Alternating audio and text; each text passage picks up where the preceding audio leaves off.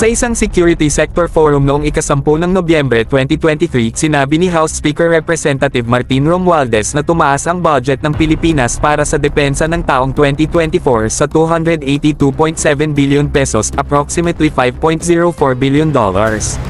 Wow, grabe yan. Ito ay 38% na tumaas mula sa budget ng depensa noong FY 2023.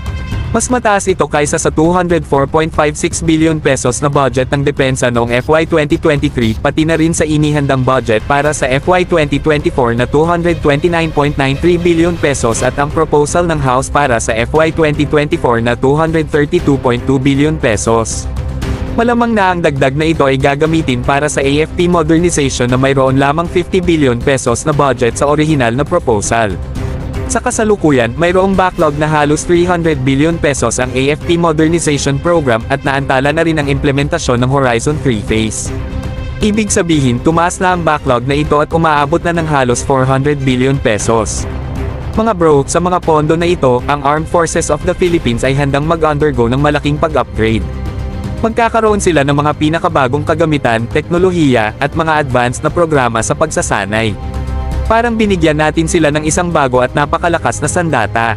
Isipin nyo ang mga posibilidad, mga bro. Ang ating mga sundalo ay magiging mas handa, mas maayos ang pagsasanay, at handang harapin ang anumang hamon na kanilang haharapin. Ngunit hindi natin dapat kalimutan ang malaking larawan dito. Ang pagtaas ng budget sa depensa na ito ay hindi lamang tungkol sa mga numero at kagamitan.